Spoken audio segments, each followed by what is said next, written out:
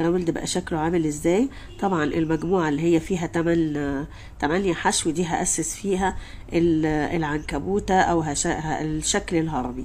شايفين شكله عامل إزاي؟ تعالوا نشوف شكله بقى على المفرش الأساسي هو فين؟ الشغل. أهو.